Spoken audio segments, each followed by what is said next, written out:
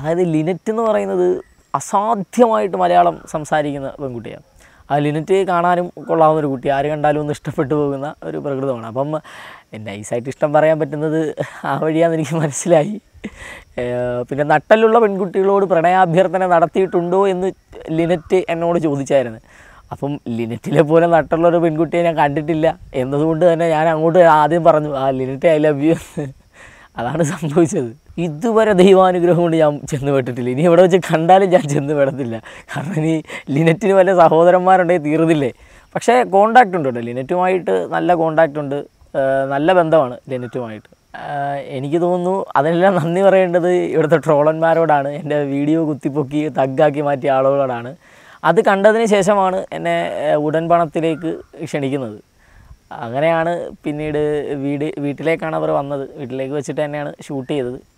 Shoot ചെയ്ത സന്ദർഭത്തിൽ പിന്നെ ആകസ്മികമായിട്ട് സംഭവിച്ചതാണ് വാപ്പായും ഞാനുമായിട്ടുള്ള ഒരു രംഗങ്ങൾ പക്ഷേ അത് രസമായിട്ടുണ്ടെന്ന് നാട്ടുകാർ പറയുമ്പോഴാണ് നമുക്ക് മനസ്സിലാവുന്നത് കൊള്ളാമായിരുന്നു ഞങ്ങൾ പലപ്പോഴും അങ്ങോട്ടും ഇങ്ങോട്ടും എല്ലാവരും ട്രോളാറുണ്ട് ഇങ്ങനെ സംസാരിക്കാറുണ്ട്. അതായത് എല്ലാ വീടുകളിലും സംഭവിക്കുന്നത് പോലെ തന്നെ നമ്മുടെ വീട്ടിലും സംഭവിക്കാറുണ്ട് സംഭവിക്കാറുണ്ട്. ആ ഒരു ഒരുപാട് പേര് ചോദിച്ചിട്ടില്ലെങ്കിലും കുറഞ്ഞ ആളുകൾ ചോദിച്ചിട്ടുണ്ട്. അപ്പോൾ ഇങ്ങനെയൊക്കെ പറയാവോ? അപ്പോൾ ഞാൻ പറയുന്നത് ഞാൻ ഇന്നും ഇങ്ങനെ പറയുന്ന ആളല്ല. പിന്നെ ഒരു പ്രോഗ്രാമിന്റെ ഒരു സൗന്ദര്യത്തിന് വേണ്ടിയിട്ട് അതിന്റെ ഒരു ഭംഗിക്ക് വേണ്ടിയിട്ടാണ് ഞങ്ങൾ അങ്ങനെ പറഞ്ഞത്. അല്ലാതെ പാപ്പയോട് ദേഷ്യം ഉണ്ടായിട്ടൊന്നും പറഞ്ഞതല്ല. ഏ വഴക്കാളി ആയ പയ്യനല്ലെന്ന് പറഞ്ഞാൽ ഈ വീഡിയോ അവർ കാണും. ഈ ഇന്റർവ്യൂ അവർ കാണും. അതുകൊണ്ട് ഞാൻ ആ കള്ളം പറഞ്ഞാൽ ഏക്കത്തില്ല. സത്യത്തിൽ ഞാൻ ഒരു സൽസ്വഭാവിയോ അല്ലെങ്കിൽ ഒരു മാന്യനായ പയ്യനോ ഒന്നും അല്ല വീട്ടിൽ അത്യാവശ്യം നല്ല വഴക്കുണ്ടാക്കുന്ന പിന്നെ ചേട്ടന് ഒരു പൊരിച്ച മീൻ കൂടുതൽ കൊടുത്താൽ വീട്ടിൽ പ്രശ്നം ഉണ്ടാക്കുന്ന ഒരു പയ്യൻ തന്നെയാണ് വീട്ടിൽ പിന്നെ വാപ്പായും പിന്നെ എനിക്ക് മൂന്ന് പെങ്ങന്മാരാണുള്ളത് എന്റെ താഴെയാണ്. പിന്നെ ഒരു ജ്യേഷ്ഠനുണ്ട് ജ്യേഷ്ഠന്റെ വൈ ജ്യേഷ്ഠൻ ഗൾഫിലാണ് പിന്നെ ജ്യേഷ്ഠന്റെ വൈഫ് മകനുമാണ് വീട്ടിലുള്ളത്. പിന്നെ വാപ്പാട് ഉമ്മയാണ്. ഒരു ചെറിയ ഒരു കുടുംബമാണ് ഞങ്ങൾ. അല്ല ഞാനിതൊക്കെ ആസ്വദിക്കുന്നുണ്ട്. കാരണം എന്ന് വെച്ചാലേ ഞാനിതൊക്കെ മോശമായിട്ട് ഫീൽ ചെയ്യുന്ന എന്തിനാ? ഞാൻ യൂട്യൂബ് തുറക്കുമ്പോൾ എന്റെ ഒരു ട്രോൾ വരുന്നതിൽ എനിക്കല്ലേ സത്യം പറയൽ സന്തോഷമുള്ളത്? എനിക്ക് നല്ല സന്തോഷമാണ് ഇങ്ങനെ ട്രോളൊക്കെ ഇടുന്നതിൽ അതുകൊണ്ട് ഞാൻ ഇനിയും ട്രോൾമാരോട് പറയും പ്രോത്സാഹിപ്പിക്കാറുണ്ട്. നിങ്ങൾ ഇനിയും ചെയ്തു എനിക്ക് കുഴപ്പമില്ല. നിങ്ങൾ എന്നെ എത്ര വേടിയിലും ട്രോളിക്കുക എനിക്ക് കുഴപ്പമില്ല.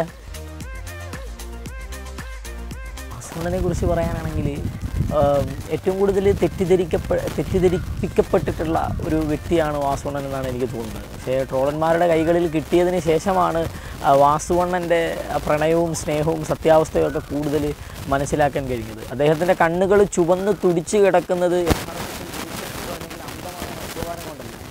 ആത്മാർത്ഥമായ പ്രണയാസക്തി കൊണ്ടാണ് യഥാർത്ഥത്തിൽ ആ കണ്ണുകൾ ചുവന്ന് തുടുത്ത് കിടക്കുന്നതെന്നാണ് എനിക്ക് മനസ്സിലായിട്ടുള്ളത്. ആ മുടികൾ പൊഴിഞ്ഞു പോയത് യഥാർത്ഥത്തിൽ മുട്ടയടിച്ചതല്ല അത് പൊഴിഞ്ഞു പോയതാണ്. കാരണം പ്രണയം തലയ്ക്ക് പിടിച്ചിട്ട് പൊഴിഞ്ഞു പോയതാണെന്നാണ് എനിക്ക് മനസ്സിലാകുന്നത്. അതുപോലെ തന്നെ ആ ശരീരവും ആ ഉടലും മുഴുവൻ ഒരു ധീരനായ വ്യക്തിയാണ് യഥാർത്ഥത്തിൽ പിന്നെ സാക്ഷ്യപ്പെടുത്തുന്നത്. ആ ധീരനായ വ്യക്തിയുടെ അഭിലാഷം തന്നെ ആ പെൺകുട്ടിയോടുള്ള ആ നടിയോടുള്ള പ്രണയമായിരുന്നു. ഒരുപക്ഷെ ദിലീപിന്റെ പൂച്ചക്കണ്ണിനേക്കാൾ ഏറ്റവും ഭംഗിയായത്.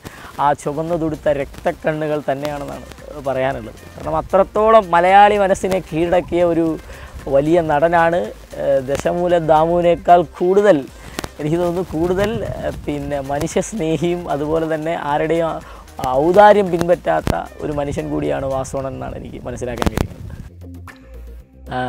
നന്നായി സംസാരിക്കണമെങ്കിൽ നല്ല രീതിയിൽ വായിക്കണമെന്നാണ്. ചേട്ടൻ പറഞ്ഞ സത്യമാണ്. വായിക്കാറുണ്ട്. പിന്നെ ചെറുപ്പകാലങ്ങളിൽ വായിച്ച പുസ്തകങ്ങൾ ഏതാണെന്ന് ഇവിടെ പറയാൻ പറ്റത്തില്ല. തമാശയ്ക്ക് പറയാം. എങ്കിലും കൂടുതൽ വായന തുടങ്ങുന്നത് പ്ലസ് വൺ ടൈമിലാണ്. ആദ്യമായിട്ട് ഞാൻ വായിച്ചത് ഫിറ്റ് ഇന്ത്യ സമരം എന്ന് പറഞ്ഞൊരു പുസ്തകമാണ്. എനിക്കും ദഹിച്ചിട്ടൊന്നുമില്ല എനിക്കൊന്നും അന്നും മനസ്സിലായിട്ടില്ല. പിന്നീട് ഒലിവർ ടിസ്റ്റ് എന്ന് പറയുന്ന ഒരു പുസ്തകം വായിച്ചിട്ടുണ്ട്. അതിനുശേഷമാണ് യഥാർത്ഥത്തിൽ വായന കൃത്യമായിട്ട് തുടങ്ങുന്നത്. ഏറ്റവും കൂടുതൽ ആദ്യകാലങ്ങളിൽ വായിച്ചത് നോവലുകളായിരുന്നു. പിന്നീട് ഇപ്പം ക്രിട്ടിക്സും അതുപോലെ തന്നെ ഈ ലേഖനങ്ങൾ അടങ്ങിയ ലേഖനങ്ങളുടെ ഒരു സമാഹാരങ്ങളും ഒക്കെയാണ് വായിക്കാറുള്ളത്. ഏറ്റവും ഇഷ്ടപ്പെട്ട എഴുത്തുകാരൻ അരുന്ധതി റായും ശശി തരൂരൊക്കെയാണ്. അവരുടെ പുസ്തകങ്ങൾ കൂടുതലായിട്ട് വായിക്കാറുണ്ട്. സുസ്മേഷ് ചന്ദ്രോത്തിന്റെ പുസ്തകങ്ങൾ കൂടുതലായിട്ട് വായിക്കാറുണ്ട്. വലിയൊരു മറുപടി ഒരുപാട് നേരം മറുപടി തരേണ്ട ഒരു ചോദ്യമാണ്. ഞാൻ പത്ത് കഴിഞ്ഞ് നേരെ മലപ്പുറത്താണ് പഠിച്ചത്. പ്ലസ് വൺ പ്ലസ് ടു ഡിഗ്രിയൊക്കെ. ബി എ സോഷ്യോളജി ആയിരുന്നു ഡിഗ്രി. ഇപ്പോൾ നിലവിൽ അതിനുശേഷം ഞാനൊരു കൗൺസിലിംഗ് സൈക്കോളജിയിൽ ഒരു പി ജി ഡിപ്ലോമ ചെയ്തായിരുന്നു ഒരു വർഷത്തെ. അതിനുശേഷം ഇപ്പം എം എസ് ഡബ്ല്യു ചെയ്യുന്നു. സെക്കൻഡ് ഇയർ ആണ് M S W. Medical and സൈക്കാട്രിയാണ് specialise ചെയ്യുന്നത്. പിന്നെ ഫ്യൂച്ചർ പ്ലാൻ എന്ന് പറയുന്നത് ഒരു പ്രൊഫഷണൽ സോഷ്യൽ വർക്കർ ആവണം അതോടൊപ്പം തന്നെ ഒരു പ്രൊഫസർ ആവണമെന്നും കോളേജ് പ്രൊഫസർ ആവണമെന്നും ആഗ്രഹമുണ്ട്. ഫ്യൂച്ചർ പ്ലാനിൽ മറ്റു കാര്യങ്ങൾ പിന്നെ പ്രണയമാണ് ചോദിച്ചത്. എനിക്ക് എല്ലാ പെൺകുട്ടികളോടും പ്രണയമാണ്. അതിന് മലയാളികൾ കോഴി എന്നൊക്കെ പറയും. അതിലൊന്നും എനിക്ക് താല്പര്യമില്ല. പ്രണയം അങ്ങനെ പ്രത്യേകിച്ച് ഒരാളോടായിട്ട് എനിക്ക് പ്രണയമില്ല. ഞാൻ എല്ലാവരെയും പ്രണയിക്കുന്നുണ്ട്. പിന്നെ അത്രയൊക്കെ തന്നെ. എന്നോട് മുമ്പ് ഒരാൾ ചോദ്യം അതേ ചോദിച്ച അതേ ചോദ്യമാണ്. മുഖ്യമന്ത്രി ആയാൽ ഞാൻ അന്ന് രസകരമായിട്ടുള്ള മറുപടികളാണ് പറഞ്ഞത്. എങ്കിലും ഇപ്പോൾ പറയുകയാണെങ്കിൽ സ്ത്രീ സുരക്ഷയ്ക്ക് കുറച്ചുകൂടി പ്രാധാന്യം നൽകും. ശക്തമായ പ്രാധാന്യം നൽകും. പിന്നീട് ഞാൻ ഒരു മുഖ്യമന്ത്രിയായി കഴിഞ്ഞാൽ. അതുപോലെ തന്നെ കേരളത്തിന്റെ വികസനങ്ങൾക്ക് പുതിയൊരു മാനം കൊണ്ടുവരും. അതുപോലെ തന്നെ എന്ത് വികസനം നടത്തിയാലും ആ വികസനത്തിൽ ഇരയാക്കപ്പെടുന്ന ആരെങ്കിലും ഉണ്ട് എങ്കിൽ അവരെ കൃത്യമായ നിലയിൽ സംരക്ഷിക്കുവാനുള്ള ഒരു സംവിധാനം കേരളത്തിൽ കൊണ്ടുവരും. അതുപോലെ തന്നെ കേരളത്തിലെ ട്രാൻസ്ജെൻഡേഴ്സിനെ നല്ല രീതിയിൽ പുനരസി പുനരധിവസിപ്പിക്കുന്നതിന് വേണ്ടിയിട്ടുള്ള പുതിയ മാർഗനിർദ്ദേശങ്ങൾ കൊണ്ടുവരികയും അവർക്ക് വേണ്ടിയിട്ടുള്ള പ്രവർത്തനങ്ങൾ ഒന്നുകൂടി ശക്തമാക്കുകയും ചെയ്യും. അതുപോലെ തന്നെ കുട്ടികൾക്ക് വേണ്ടിയിട്ടുള്ളതും. പിന്നീട് കേരളത്തിലെ വിദ്യാഭ്യാസ മേഖലയിൽ കൂടുതൽ സ്കൂളുകളും കോളേജുകളും അനുവദിച്ചുകൊണ്ട് കുട്ടികൾ കുറച്ചുകൂടി മെച്ചപ്പെട്ട രീതിയിൽ പഠിക്കുന്നതിന് വേണ്ടിയിട്ടുള്ള മുഴുവൻ സാമൂഹിക സാഹചര്യങ്ങളും ഒരുക്കി കൊടുക്കും. അതിനു വേണ്ടിയിട്ട് കുട്ടികൾക്ക് അടിസ്ഥാന സൗകര്യങ്ങൾ മുഴുവൻ ചെയ്തു കൊടുക്കും. എന്നാണ് ഞാൻ മുഖ്യമന്ത്രിയായാൽ ചെയ്യുന്ന കാര്യങ്ങളൊക്കെ. ആ വിളിച്ചു. അതായത് പിന്നെ വിപിൻ എന്ന് പറയുന്ന ഒരു ചേട്ടന്റെ ഒരു പടത്തിൽ. അതായത് പുതിയതായിട്ട് തുടങ്ങാൻ പോവുക നീരജ് മാധവന്റെ അനിയൻ. നമുക്കറിയാം പഴയ മടിയർ കുട്ടിച്ചാത്തൻ എന്ന് പറയുന്ന ഒരു സീരിയലിലെ പയ്യനായിട്ട് വന്ന. അപ്പോൾ മൂപ്പര് സംവിധായകൻ കൂടിയാണ് ആ പയ്യൻ. അപ്പോൾ നവനീത് എന്നാണ് പേര്. അപ്പോൾ നവനീ നവനീതിന്റെ പുതിയ പടമായിട്ടുള്ള ചെയർമാൻ എന്ന് പറയുന്ന മൂവിയിൽ ഒരു ക്യാമ്പസ് മൂവിയാണ്. അപ്പോൾ അതിൽ എനിക്ക് കിട്ടിയിട്ടുണ്ട്. ഇരുപത്തൊന്നാം തീയതിയാണ് അതിന്റെ ഷൂട്ടിങ് തുടങ്ങുന്നത്. അപ്പം അതിലേക്ക് പോകുന്നുണ്ട്. ആ ഒരു ചെറിയ സിനിമാ താരം ആയി എന്ന് കരുതുന്നു. അത് ഷൂട്ടിങ് കഴിഞ്ഞ് ഇറക്കിയിട്ട് പറയാം ഞാനൊരു സിനിമാ താരമായി എന്ന്. കൊറോണ കാലഘട്ടത്തിൽ പ്രധാനമായിട്ട് ഉറക്കം തന്നെയായിരുന്നു നമ്മുടെ പ്രധാനപ്പെട്ട ആക്ടിവിറ്റീസ് അതുപോലെ തന്നെ പലരും ചെടിച്ചട്ടി അതായിരുന്നു പലരുടെയും ഹോബി എന്ന് പറയുന്നത്. ചെടി വളർത്തൽ മീൻ വളർത്തൽ ഞാൻ പിന്നെ അത്തരത്തിലുള്ള കുൽസിത പ്രവർത്തനങ്ങളൊന്നും നടത്തിയിട്ടില്ല. ഞാൻ ഉറക്കമായിരുന്നു മെയിനായിട്ട് പിന്നെ പിന്നെ പ്രധാനപ്പെട്ട പ്രധാനമായിട്ട് ഞാൻ ആശ്രയിച്ചിട്ടുള്ളത് ട്രോളുകൾ അതുപോലെ തന്നെ യൂട്യൂബിലെ പഴയ സിനിമകൾ അതൊക്കെയായിരുന്നു കൂടുതലായിട്ട് ഞാൻ കണ്ടത്.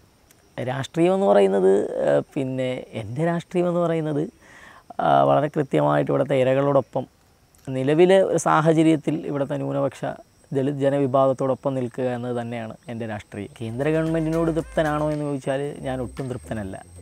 പക്ഷേ കേരള ഗവൺമെന്റിനോട് തൃപ്തന. പല കാര്യങ്ങളിലും തൃപ്തനാണ്. പല കാര്യങ്ങളിലും എതിർപ്പുകളുമുണ്ട്.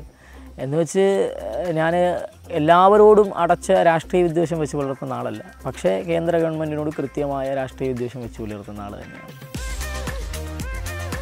അത് പിന്നെ വളരെ കൃത്യമായിട്ട് അതിനെ പിന്നെ ഏകപക്ഷീയമായ വംശഹത്യയ്ക്ക് തുല്യമായ നിലപാടുകളാണ് എടുക്കുന്നതെന്നാണ് എനിക്ക് പറയാനുള്ളത്. കാരണം ഒരിക്കലും അംഗീകരിക്കാൻ കഴിയാത്ത തരത്തിലുള്ള പിന്നെ അമാനുഷിക പ്രവർത്തികളാണ് അവർ നടത്തിക്കൊണ്ടിരിക്കുന്നത്. അമാനവിക പ്രവർത്തികളാണ് അവർ നടത്തിക്കൊണ്ടിരിക്കുന്നത്. ഡ്രീം എന്ന് പറയുന്നത് ബിഗ് സ്ക്രീനിൽ വരിക എന്നത് തന്നെയാണ് എന്റെ ഡ്രീം അതിനു വേണ്ടിയിട്ട് ഞാൻ കുറേ ശ്രമിക്കുന്നുണ്ട്. അത് ശ്രമം പിന്നെ ഫലവത്താകട്ടെ എന്ന് ഞാൻ വിശ്വസിക്കും അങ്ങനെ ഓസ്കാർ നേടുന്നതായിട്ടൊന്നും ഞാൻ സ്വപ്നം കണ്ടിട്ടില്ല. പക്ഷെ ഒരു അവാർഡ് വേദിയിൽ ചെന്നിരിക്കുകയും അവിടുന്ന് ഒരു അവാർഡ് വാങ്ങിക്കാൻ വേണ്ടിയിട്ട് ഞാൻ നടന്നുപോയി അവാർഡ് വാങ്ങിച്ച് സംസാരിച്ച് തിരിച്ചിറങ്ങുന്നതായിട്ട് ഞാൻ ഒരുപാട് സ്വപ്നം കണ്ടിട്ടുണ്ട്. തീർച്ചയായും സന്തോഷവാനാണ്. ഞാൻ ഇനി സങ്കടപ്പെട്ടിരിക്കുകയാണെങ്കിലും എന്തെങ്കിലും ചെറിയ കാര്യങ്ങളെ ഓർത്ത് സന്തോഷിക്കാറുള്ള ആളാണ് ഞാൻ വളരെ തൃപ്തനും സന്തോഷവാനുമാണ് ഇപ്പോൾ. നന്ദി പറയാൻ ഒരുപാട് ആളുകളുണ്ട്. ഒരുപാട് ആളുകളെന്ന് പറഞ്ഞാൽ എന്റെ ഒരുപക്ഷെ ഇതെല്ലാം എന്റെ വ്യക്തിപരമായിട്ടുള്ള വിജയങ്ങളാണ്. വ്യക്തിപരമായിട്ടുള്ള വിജയങ്ങളാണെങ്കിൽ പോലും അതൊരു എന്റെ വ്യക്തിയിലേക്ക് കേന്ദ്രീകരിക്കുന്ന വിജയങ്ങളാണെങ്കിൽ പോലും പക്ഷെ മറ്റുള്ളവർ എന്നോട് കാണിക്കുന്ന ഒരുപാട് സ്നേഹങ്ങളുണ്ട് ഒരുപാട് സഹായങ്ങളുണ്ട്. ഇപ്പം നൗഫൽക്കാണെങ്കിലും ഷാഫിക്കാണെങ്കിലും എന്റെ അധ്യാപകൻ റഫീഖ് സാർ ഒരുപാട് ആളുകൾ എന്റെ കൂടെ പഠിക്കുന്ന കൂട്ടുകാർ മുബഷിർ ജാസിർ സാദ് പിന്നെ എന്റെ നാട്ടുകാർ ആദർശ ബിനു എല്ലാവരും എന്നോട് കാണിക്കുന്ന സ്നേഹങ്ങൾ. അപ്പം യഥാർത്ഥത്തിൽ ഇവരോടെല്ലാം നന്ദി പറഞ്ഞാൽ തീരില്ല പ്രത്യേകിച്ച് പിന്നെ എന്നെ ട്രോൾ ചെയ്തിട്ടുള്ള എന്റെ വീഡിയോസ് എടുത്ത് യൂട്യൂബിലും ഇൻസ്റ്റാഗ്രാമിലൊക്കെ ഇടുന്ന അതുപോലെ തന്നെ എനിക്ക് ഫോളോ തരുന്ന ആളുകൾ അപ്പോൾ ഇവരോടെല്ലാം നന്ദി പറയേണ്ടതുണ്ട്. എല്ലാവരോടും നന്ദി മാത്രം.